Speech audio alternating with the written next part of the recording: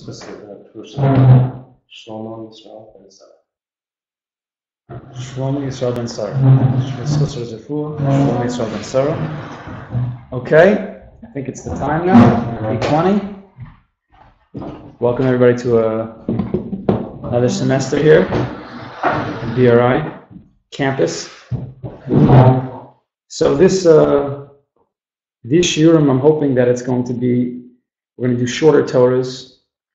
It's going to be a little bit less complex in the Torah of Rabbi Nachman. Sometimes he gets very complex with Kabbalah and bringing Gemaras, and so it's going to be a little bit simpler. I'm going to do a little bit quicker of a shir to try to get like an injection of, uh, of Rabbi Nachman before Shabbos Kodesh. And so we're going to start in the Moharan Tinyana Siman Memvov. So just as a one moment Agdama, the concept of Mesiras Nefesh is a very important concept in Yiddishkeit. Mesiras Nefesh, uh, to give up one's life, generally that's the understanding, to give up one's life for HaKadosh Baruch Hu, right? Person puts the classic understanding, what's Mesiras Nefesh? So someone will tell you, someone puts a gun to your head and says either, you know, do avodah zarah, or I'm going to kill you. So you're supposed to know, we know you're supposed to give up your life. You're most Nefesh, give over your Nefesh for HaKadosh Baruch. But that understanding is a very limited understanding. There's much more to Mesiras Nefesh.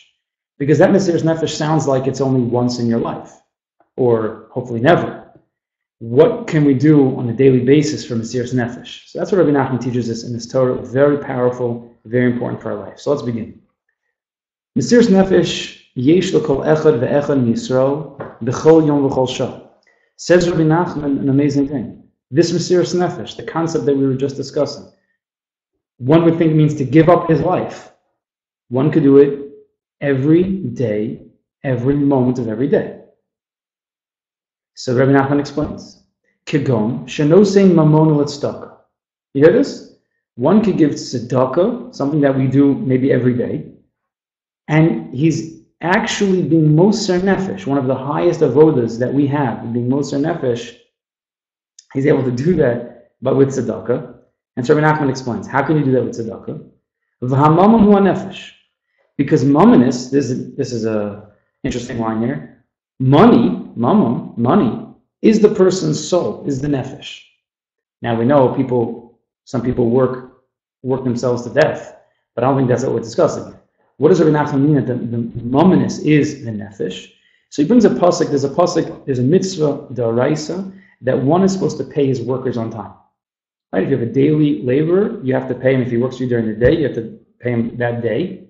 And if he works that night, you have to pay him that night before the next day. So the pasuk says why. So the pasuk says now Rabbi Nachman just quoting the end of the pasuk, but it says because this person's an ani, he's poor, he needs the money. Ki love who knows say esnafsha. So it means he give either he means he gives his life for it, he's giving his life for the work he's doing. But in other words, we could say that his life depends. His life depends on this money.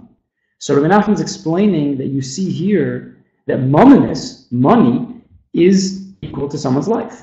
As the Pasuk says, his life depends on the money that you're going to give him. So Nachman explains right there.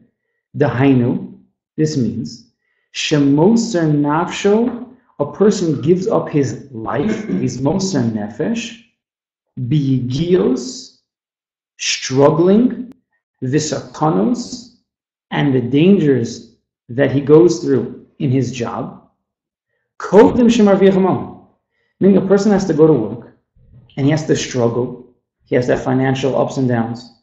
He has to have fights at work. He has to have sakana. Sometimes people's jobs are actually real sakanas. Sometimes it means it's sakana for his nefesh. Sometimes it means it's, a, it's an emotional sakana. But a person has to really go to battle when he goes to work. But we know that we work is called going, getting your lechem, getting your bread. Right? That's getting your bread, getting your mazonos. It means going to work, getting a parnasa. So lechem is the same letters as milchama, like lochem, to fight. Because when you're going to get your bread, you have got to fight, tooth and nail. So a person is giving up his nefesh. He's struggling. He's putting all of his efforts in when he goes to work. And that's just to get the mumminess. And then what happens if he's a good yid, says Rav Nachman, and after that, no till a moment, he takes that moment that he earned with his blood, V'nosno b'shvil Hashem Yisbarach. And he gives it over to fulfill a command of God. Nimsa, right, for tzedakah. Hashem says you have to give tzedakah. It's an important thing. So he takes this money that he earned by battling. So you see what? Nimsa moser nafsha. So says Rabbi Nachman, you see here that when a person gives money to tzedakah, it's kilu he's giving up his life. Like the pasuk said, ki love who knows nafsho, that this day worker, his life depends on the money he earns. And now he goes and he gives this money to tzedakah, not everything, but he has to give, either he gives meiser or he gives tzedakah to a certain cause. He's giving up his life. Again, just a simple mashal. Not, it's not even a mashal. We're just going to spell it out. So you have a guy who's working all day.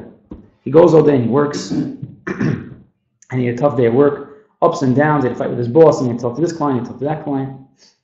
And now, at the end of the day, okay, it doesn't work like this nowadays so much, but you get paid, right? He gets paid right at the end of the day. Right? Or let's say it was the end of the week and he got his check. So now he's on his way home and he's ready to go cash in the bank. A thousand dollars, two thousand dollars, whatever it is. And on the way, an ani comes and says, "Listen, I, I have no money. I'm poor. I have children. I need three hundred dollars." So you're looking at him and you feel bad for him. The two thousand dollars, you killed yourself this week for that. You woke up early. You came home late. You, it was hard to. You didn't spend so much time with your kids. You didn't spend so much time with your spouse. You had to fight at work. You had to do all these things, make yourself crazy. And now he wants to take your money. He wants to take a piece of your life. You put your life into that. That's not easy. But HaKadosh Baruch Hu says, listen, it's a mitzvah tzedakah. So a person who's misgaber, and he does wants to do the mitzvah deraisa, and he gives over this money to the poor person, he's giving a piece of his life. He's literally giving over a piece of his hard-earned life to this person. So Menachem is telling us, you see, that a person by giving tzedakah, you're being moser nefesh mamish. You don't have to give up your life. You don't have to take a bullet in the head. Chas which never happened to us, to be considered a moser nefesh, like the the Yidden who gave up their lives in the, in the Holocaust, in the Shoah. Uh, all the stories of Mesiris Nefesh, amazing stories. But we don't need that to happen to be moser nefesh for God. And I'll say something else here that I believe. A kavanah is needed, or no kavanah, it's just the, the fact that a person does that. that Kavanah is not necessarily needed. I mean, it's it's it's automatic. I worked hard for this money. This is very difficult for me. Now I'm, I'm it's not so easy to get tzedakah. If you give a dollar, even for a dollar, sometimes it's very hard for people. Anything that you give up of your mamas, your hard-earned cash, then by you, that's giving up your life. Now, some people, money comes very easy, and it's not hard for him to give. So this would now be his mitzvah of Mesiris Nefesh. Getting up to go to davening. He's got to wake up hard. He's got to wake up early. It kills him to wake up early. He just wants to sleep, and he's so tired. But listen, you got to go to minyan. By him, that's Mesiris Nefesh. That's of the highest avodas that we have that we could do for a Kadosh Baruch. Um, it's important to note, and I think this is, I think Rabbi Nachman's alluding to this, that, like we explained, number one, Mesiris Nefesh means not just giving up your life for Hashem. Level two is the mitzvah itself, the mitzvah of tzedakah, let's say, like Rabbi Nachman explained. To give up, to give money that you worked hard for, that, when you give that money to that poor person, to that organization, to that school, that's Mesiris Nefesh. But I think there's another level. I think this is the Chiddush of Nachman. Because he tells us, why did Rabbi Nachman tell us about the Yigiyas and the Sakanos? I believe that when you're going to, let's say this example, you're going to work, and you're killing yourself at work to make money, and ultimately you're going to give, let's say, Meiser, 10% of that money to tzedakah. We don't just look at that one minute of tzedakah as the act of Mesiris Nefesh. Rather, every minute we're at work struggling, that itself is a Mesiris Nefesh for Hashem. Because ultimately that money is going to go to the mitzvah of tzedakah. So it's not just that last minute. Every moment you're working, if let's say an account, 10% of my paycheck is going to tzedakah, every single moment you're at work, every single struggle, every single whatever you go through at work, that's mitzvah Mesiris Nefesh, another Mesiris Nefesh, another Mesiris Nefesh, another Mesiris Nefesh. That's an amazing thing. That changes your whole day. That's a game changer. It's not just, well, I worked hard, and now at the end, I Baruch Hashem, I have a little bit of money for tzedakah. Ah, beautiful mitzvah. And but the whole week, it was no Avodas Hashem. Because during that nine to five, it's not Avodas Hashem, it's, uh, it's work. But once a week, when I give my money to tzedakah, it's an inyan of Avodas Hashem. No, says Rabbi no way. You were Moser Nefesh when you went to work that day. Every moment of that, if you're going to give the money to tzedakah. Not all of it, but whatever you give. That's an amazing thing. Mesiris Nefesh means, Mesiris Nefesh means you put your blood into something. You, you're Moser, you're giving up your Nefesh for something. There's a pasuk says that when Shimon and Levi, we know Shimon and Levi went to destroy Shechem, right? The city of Shechem, because Shechem violated their sister Dinah, and he's, according to the Medrash, he was actually holding her captive. So Shimon and Levi, we know they did the whole trick where they told the people of Shechem, why don't you all do bris milas, then we could marry into you, because if you don't have a milo, you didn't, we can't, we can't, we can't be with you. So they decided, all the people of Shechem said, okay, it's a great idea, let's, let's, uh, let's have bris milah. We know the third day is the most painful day. So Shimon and Levi go on that day when everybody was at home in bed in pain, they went and they decimated the entire city. They killed out everybody. The pasuk there says, in Bereshis, it says, when Shimon and Levi were going out to fight against the city of Shem, it says, Shimon the Levi Achedina. Shimon and Levi, the brothers of Dinah. That's pretty obvious. We know that already. Why are you telling me over here that they're the brothers of Dinah? It should just say, Shimon and Levi went to go kill out Shem. So Rashi picks up on this, Achedina. And if you see Rashi over there, he says, Lefisha Masru Atzmon Alev, since they were ready to give up their life. They could have died in this in this war against Shem. Yes, they had the upper hand because the people were in pain, but they could have died. They were Moser, they were Lafisha Masru Atzman Alev, Nikru Achel. They were called her brothers, meaning they were ready. They were already her brothers. But when they decided to be Moser Nefesh, to give up their lives, Mamish for their sister Dina, they got another level. It wasn't just the DNA brotherhood. They became in the panemius, in the innards of this world. They became much deeper levels of brother, brothers to Dina. Because they were Moser Nefesh. Because they, what happened? When you're Moser Nefesh for somebody, you're putting a piece of yourself into them. You're, re- you're when you're Moser Nefesh for money, you're putting your, yourself into the money. That's what it means. That's, that's why it's so hard to give up tzedakah. I'm putting a piece of myself in this, this item. Yes? Mm-hmm. So that's what Mesiris Nefesh is, and Rabbi Nachman is saying you can do it at every moment. Let's go weiter. V'chein b'tfilo, this is, so, this is also by tfilo. Isib Medrash Nelam in the Zohar. It says on the pasuk, the pasuk that we say every day by Shema, it says, V'ahavta as Hashem Elokecha, One should love God. Says Moshe Rabbeinu, you have to love God with all your heart, all of your soul, and all of your ma'od, which means money or means all of your midos. But in the part of Ubuchol Nafshecha, means all of your soul, the Medrash Nelam says, Shehi Bechinas, as the Pasuk says, Ki Alecha Horagnu Kolayom. Says the Zohar, Ki Ilu, when you say, Nafshecha, I'm, I love you, Kadosh Baruch Hu, so much that I'm ready to give up my nefesh for you, it means, Kadosh Baruch Hu, for your sake, I'm slain, I'm killed every day. Meaning, says Rabbi Nachman, Hainu Mesiris Nefesh. When you say B'chol Nafshecha, you're supposed to love God so much that you're ready to be Moser Nefesh for God every moment of every day. Not just like Rabbi Akiva, who waited his whole life, and when he was dying, Al Kiddush Hashem, when the Romans were killing him, he said Shema Yisrael, V'hafta, B'chol Avavcha, B'chol Nafshecha, because he was ready to give up his life for Kadosh Baruch Hu. But Kol Alecha Horagnu Kol Hayom. Kol Hayom means every day, but it means all day, every day. Then when a person gives himself up to serve God, I want to sleep, I'm so tired. But no, I have to break myself and go and get up. Or this money, I really wanted it for X, Y, and Z, all the other things that I have. But no, I have to break that inner desire of keeping the money for myself and giving it to a poor person, to an organization, to an internet tzedakah. That's killing yourself every day out sincerest nefesh for God. That's an unbelievable vote. And with your question before, with the kavana, even though you don't necessarily need kavana, it, it is important when you're giving any mitzvah, because it really goes down to the, it goes back to the, the, the of, do you need kavana by mitzvahs?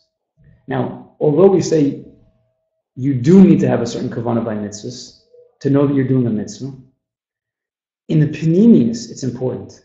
For your self growth, it's important to know that right now, I'm giving myself up for this mitzvah. If you think like that, or I'm waking up, not because I have to go to shul I have to go to minyan because otherwise you know, my kids are going to look at me funny, or I have to go to shul because otherwise the people in the shul are going to notice I'm not there and it's embarrassing.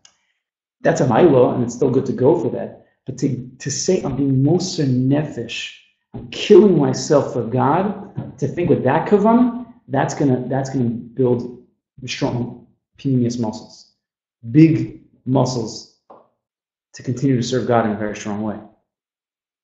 So says Rabbi Nachman, when a person is davening, it's a big struggle. It's a big mochama, like that word we said before. It's a big mochama with all the machshavas and the bilbum, the confusions when a person's davening. Davening is very difficult. People are thinking about all types of things. People are thinking about work. People are thinking about the news. People are thinking about Trump. I don't know, whatever they're thinking about. Think about everything else but God.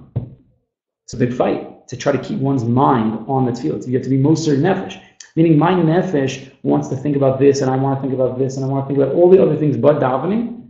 But I have to be moser nefesh. I have to give over all of those desires and give it to God, and just stay here, even though maybe I don't necessarily feel davening so much.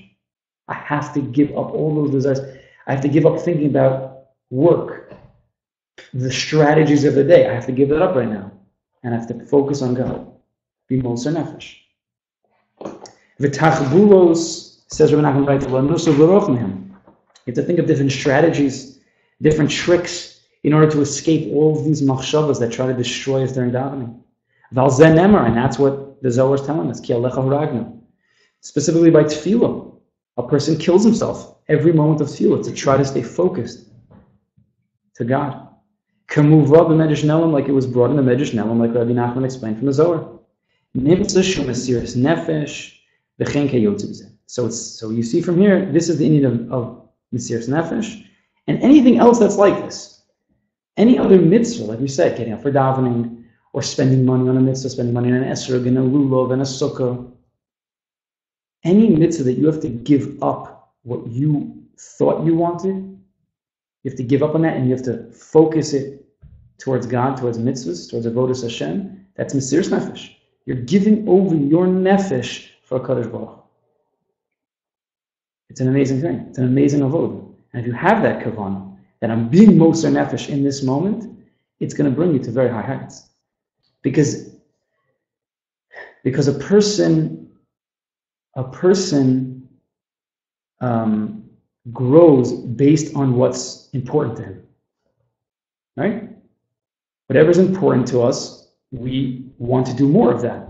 If cars are important to me, so I'm going to shine my car and buy more cars and read about cars, right? If God is important to me, so I'm going to think about God. I'm going to give up my other thoughts for God. I'm going to wake up early for God. I'm going to give money over for God. And when you do that, when you, when God becomes important in your life, then a Kaddish says, "Oh, this person's important in my life," says Hashem. And when Hashem says, "You're important in my life," then good things happen. Then we have a happy life. Menuchas nefesh, have adas, you have parnasa. When you're Moser Nefesh for Hashem, Hashem's Moser Nefesh for you. You bend over backwards for God, He's going to bend over backwards for you. It's an important thing. He has your back. Who better to have our back than their bonus shoulder? But let's go weiter. Vidas says Rabbi you should know. You have to know when Rabbi says Vidah means you have to know very deeply. This is very important. Listen to this. The famous breast of manias obstacles. You have to know that the manias that everybody goes through with avodas Hashem, serving God. Kigon, for example, Rabbi Nachman says, "Linsola hatzavika emis For example, a person wants to go and wants to travel to a tzadik emes like Rabbi Nachman speaks about many times, that has to do with serving God in a very deep way. What is Hashem? Listen to this. To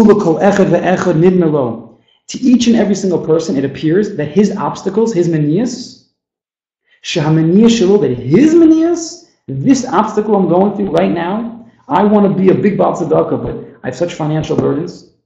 I want to go to a Tzaddik Emes, but how am I supposed to get there? I have all these other issues. So he thinks, it appears to him that shelo gedolim.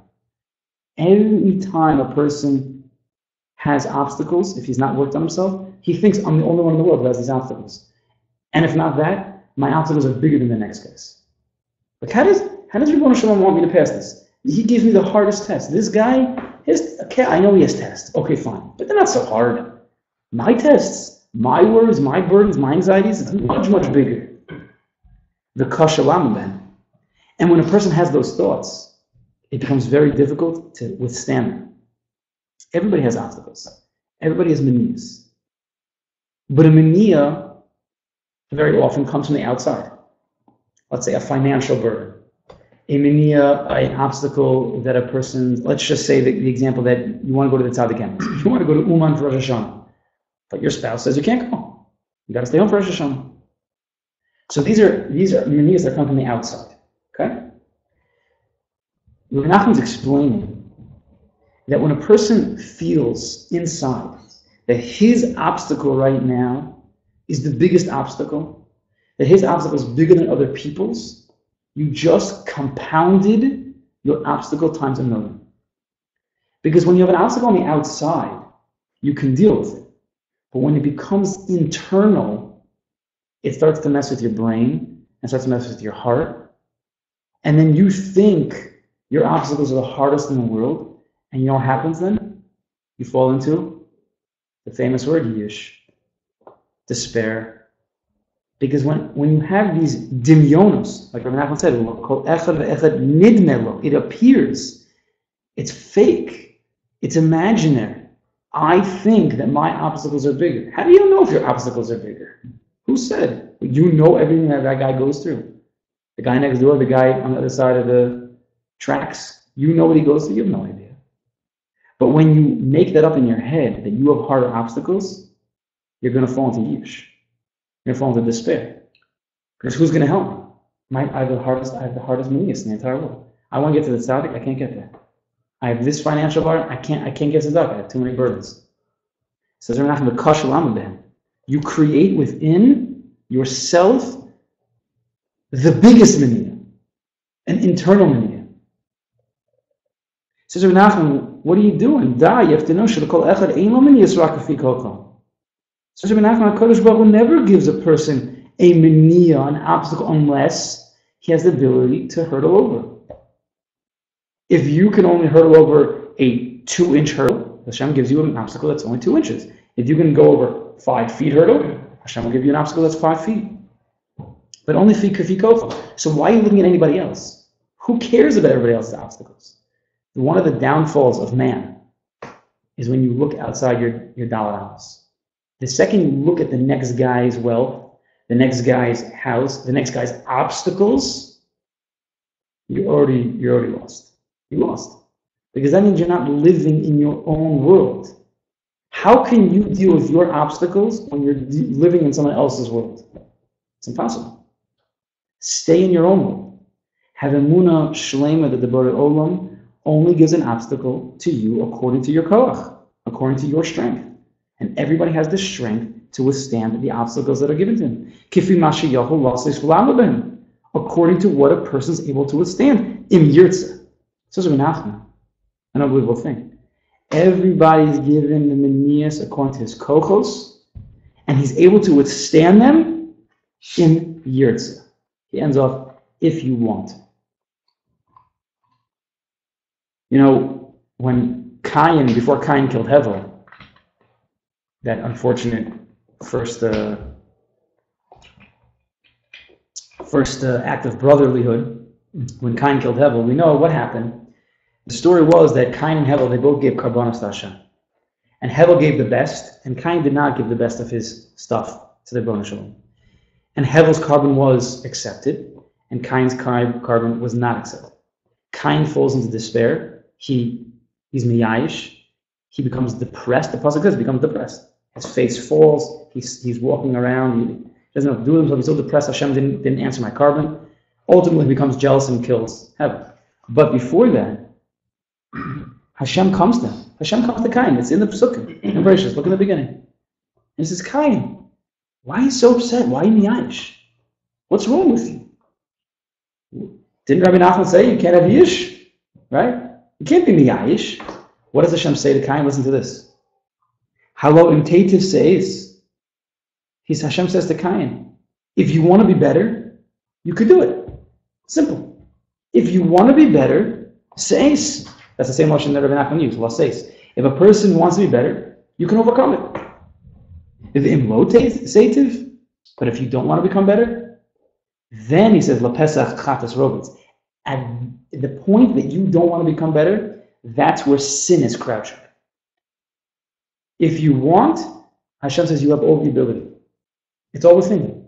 There can be no test that you don't have the inner strength, the inner fortitude to be able to withstand. If you want. If you don't want to, then that's where sin lies. Meaning, you're going to be miyayish, you're going to stay in that state of yish, and we know in that state of yish, everything breaks down. If you want to. When says, if you want, you can pass anything. The problem is, if you look outside your Dal Amos, you're looking at the next guy's obstacles, you're killing your own desire to be able to change and to be able to grow and to be able to pass over this hurdle.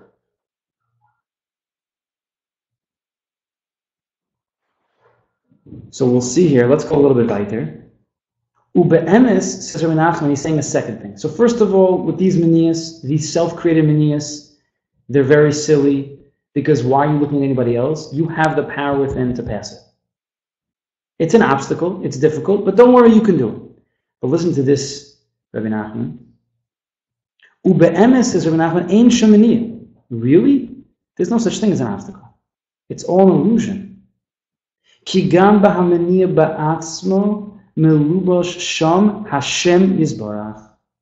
In every mania and every obstacle, it's just an illusion with God on the inside. Every obstacle, if you would unzip that obstacle, that financial burden, that fight with your friend, whatever it is, underneath in that place, there's Yud Kevake, the Ribbono Shel Olam. Because what's every nisayon? What's every obstacle? It's just the potential to grow over, to hurdle over the obstacle. Every obstacle is an opportunity. We have to change the, the understanding of minya. We have to change it. Minya does not mean obstacle. Rabbi Nachman says, Ube'emes ain't minya. There's no such thing as a minya. Well, then what does that mean? What does the word mean? Minya. You know what minya means? Mania means opportunity. Every mania, which we used to call obstacle, we have to change it. No more, we're not using the word mania. The translation is not obstacle. Tell everybody you know, no more, we're not using the word obstacle anymore. We're going to call it opportunity for growth. A mania means Hashem is hiding within this inyan, and within this inyan we can grow to the highest. That's what mania is. Because when a person let's say, for example, he's working out. When a person is working out, let's say he's doing the bench press, right? Everyone knows the bench press. And he's a big guy, and he can handle 200 pounds bench press. 200 pounds with barbells on the side. Now, if he would take that bar and he put 50 pounds on each side, 100 pounds, and he'd go one, two, three, four, it's a joke. It's a joke. He's not working out. He's not going to grow any muscle from that. Right? There's no muscle to grow when he, when he can do 200, but he's doing 100. So what does he need to do? He needs to put 200 on. That's the weight he's at. He needs to max out. Correct? Everybody, everybody knows this. You have to push against the max weight you can do. That's what's going to build the muscles in your body. That's what a mania is. A mania is putting 200 pounds on the bar. The exact amount of whatever the inyan is, let's say a person's a uh, kas, he's working on his anger.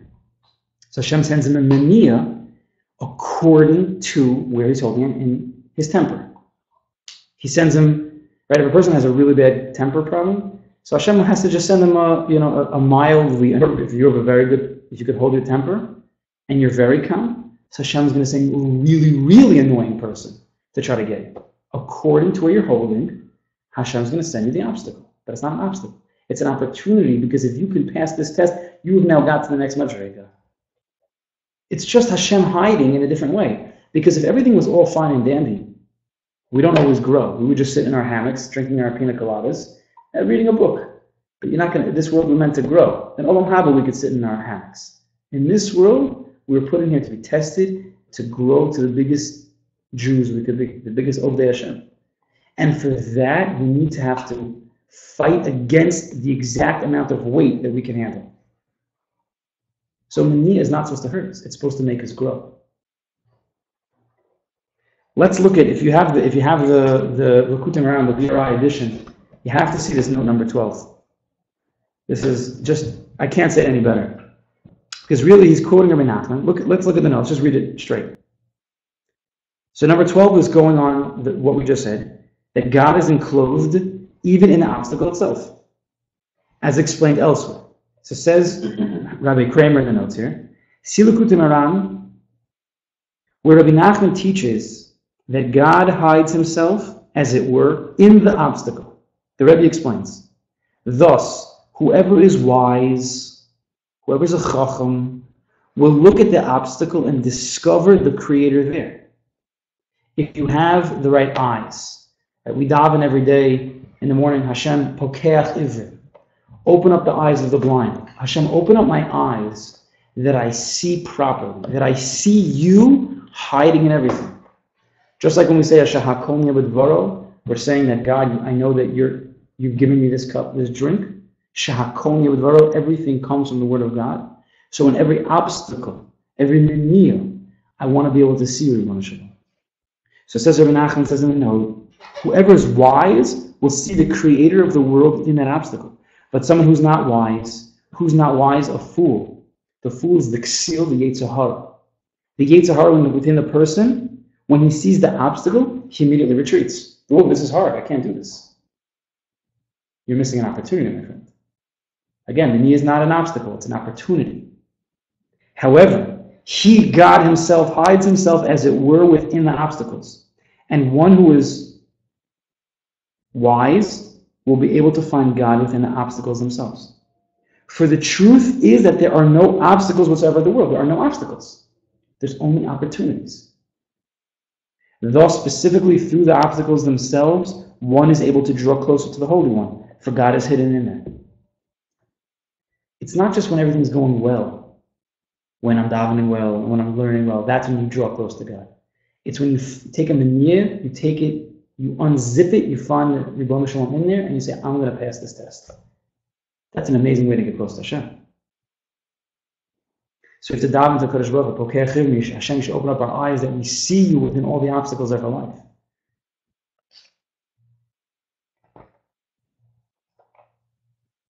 So let's, we have a few more minutes here. And I'm gonna, we're gonna read this next paragraph. We might have to continue, we might have to come back to it again next week. But let's start it right now. Anybody has any questions, you could type them in. We'll try to uh, answer them in the next few minutes. So we have a question here. So do we pray to be tested as David HaMelech did? That's an interesting question. Do we ask for nisyonos? The general answer is we don't ask for nisyonos. We don't ask for tests. The tests come to us anyway. Because when you ask for a test like David HaMelech did, he, I don't want to say anything, but David failed the test. So we don't want to, we're no better than David Melech. So we don't want to ask for tests. Tests come. Let them come. They come in all shapes and sizes and all colors and forms. And uh, we can deal with them. Thank you. Well answered. okay, let's just continue for another minute or two. It says Menachem weiter.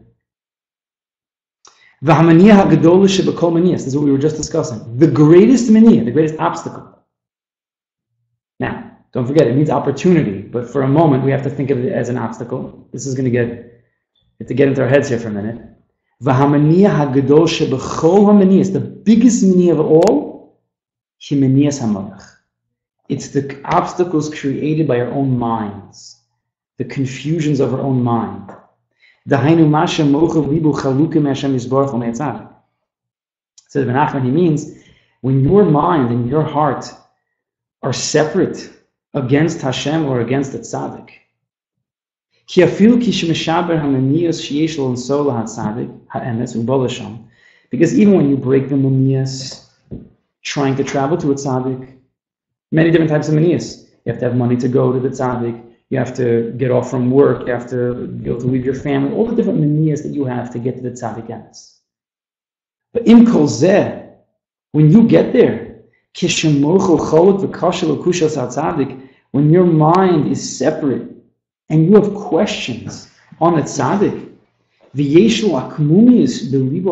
and your heart is crooked, you have the wrong emotions against the tzaddik, this is the greatest mania that you have. This is the inner type of mania. The external mania was the money trying to get to the tzaddik, finding the wagon, getting off from work. Those are external manias. Those are difficult, but you can get through them. But when you have a confusion in your mind, when you have inappropriate emotions or thoughts or feelings against the tzaddik, now you've taken that mania from the outside and you're now, it's inside of you.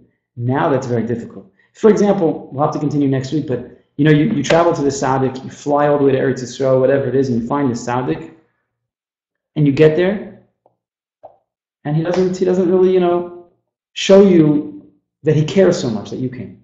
Now you're you're Mr. Big Shot, you just spent all this time, all this money to get to him, and he's, he's just treating you like everybody else. He's not mean to you, but he's not what did you expect? You expect him to give you, oh, shalom aleichem, wow, you came so far. That's what we expect. And now when the Tzaddik's not doing that, you have a lot of kashas. He's a Tzaddik Emes. This is how a Tzaddik Emes treats me. When you get into that mode, that bad thought pattern, you're in trouble. That's very difficult to get out of.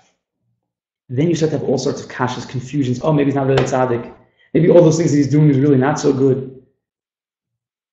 You're going to get into this pattern and you're going to get stuck. It's an inside mania. This is the worst kind of mania. And it came really, it came from your kavod and your gaiva. It came from your own problems. This is the problem. The inner manias are my gaiva and my kavod and my taivas. But generally we're blind to that, and I'd rather just blame it on the tzaddik. Why didn't you, you know, why didn't you show me the love? Really, it's my own gaiva. Why should the tzaddik show me love? He's the tzaddik emes. I'm just a, you know, a little guy from Yokelsville.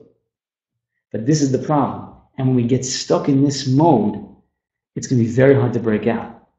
These manias are the biggest opportunities because confusions of the mind hold us back from, from everything in life. What is Hashem, better relationships, everything. So to break through a mania like this, this opportunity is of the biggest. If you can clarify your mind and cleanse your mind cleanse your midos from gaiva and taiva and kavod, then you're you're going to become a big tzaddik yourself. We're going to have to stop here. We have we have a lot to talk about. I'll just leave you with one last one last thing that hit me today. I have to mention it because it hit me today. A cute little uh, a cute little thing. Negativity. Every moment the person has the opportunity to be negative or positive. This is part of our, our every moment test from God. If I'm positive, I have emunah in Hashem. If I'm negative, it means in a little bit of way I don't have emunah in Hashem. Because why am I being negative? What's the problem?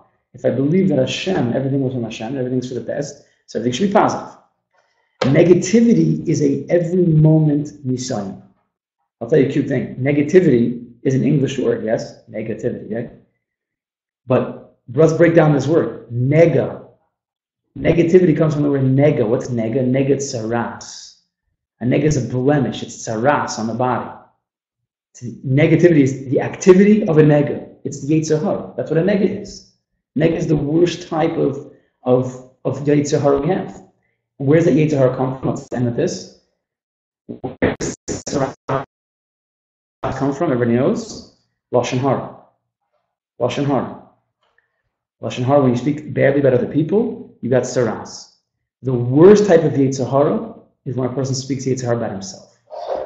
When you're negative, you're speaking Yetzirah about yourself. When you don't think you could pass a Mania, you're speaking Yetzirah about yourself. That's negative. I have to end here. I see one last question here. Is it true that when we pray or when we do mitzvahs, we are not supposed to do them in anticipation of being rewarded for doing the mitzvah or, or praying the prayer, but rather just for the sake of doing it because we're supposed to? If yes, how do we overcome the idea that maybe we will get rewarded, and why are we not rewarded for doing those things? Okay, it's it's it's a it's a big question. Um, I think we're gonna have to start with it next week. It's just that we don't have time right now, and there's other shiurim to go through. But uh, we will remember this question, and Hashem, and we will start with that next week. So everybody should have a, a good Shabbos and a good week.